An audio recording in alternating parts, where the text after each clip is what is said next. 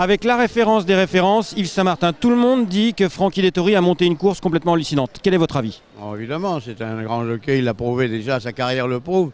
Mais là, il a excellé. dans- C'est toujours dans les grandes occasions où il brille. Et là que l'on voit que c'est vraiment un très très grand jockey. vraiment. Mais dans le détail, quand il est parti, quand il s'est placé, comment vous avez vu les choses, vous? Il a tout, il a le sens de la science du train, il est très fort à la lutte.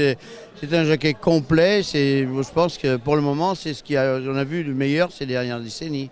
Effectivement. Et dans le parcours, comment vous l'avez senti? Il est parti, il s'est placé tout de suite. Comment vous avez analysé? Il ne s'est pas placé tout de suite, il est parti un peu à l'extérieur, mais son cheval est pas, pas- pas- de- ne doit pas être très facile, parce que déjà il a eu plusieurs fois il a eu dérobé. Mais là il l'a bien maîtrisé, il l'a ramené au milieu et après il s'est infiltré à la corde. Non, il a monté une course superbe. C'est ce que vous auriez fait, vous, avec ce, ce départ? Si j'avais pu, oui, bien sûr. Merci.